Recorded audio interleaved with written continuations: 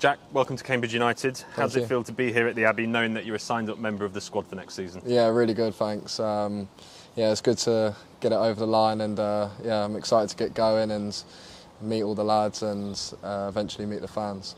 Was it the right time for you to have a fresh start in your career? Yeah, I think so. Yeah, it's a, it's, it's a good time for me to settle somewhere. Um, yeah, hopefully play regular football and be a part of something uh, really positive.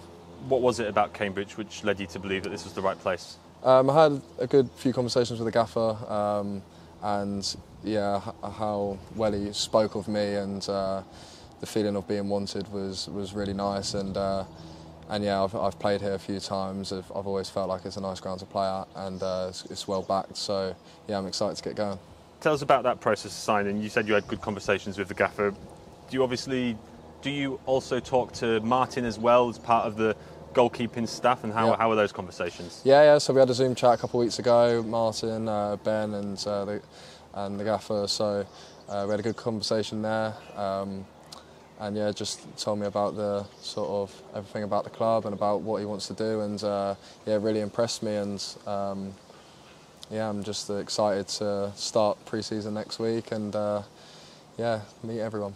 How important, um, how important are those relationships and those connections with the staff um, in sort of making, helping making your mind up as to whether it's the right choice or not? Yeah, massive. I mean, you have um, yeah multiple conversations with, with the staff and the manager, and as a goalkeeper myself, the goalkeeping uh, goal, goalkeeping coach. So I think that relationship's big. So yeah, it just felt right. It fit. It feels like it fits, and uh, yeah, I'm happy to be here.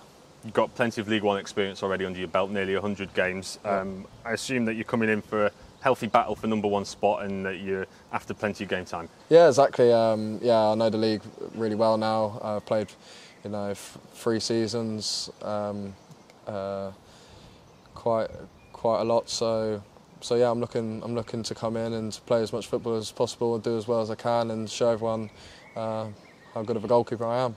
Finally, pre-season's just around the corner. You fit, healthy, and ready to go. Yeah, yeah, I feel good. Uh, yeah, I've worked hard in, in the off season uh, and I've got a fire in my belly and um, yeah, I'm definitely ready to start pre-season next week and uh, again show show everyone how good I am.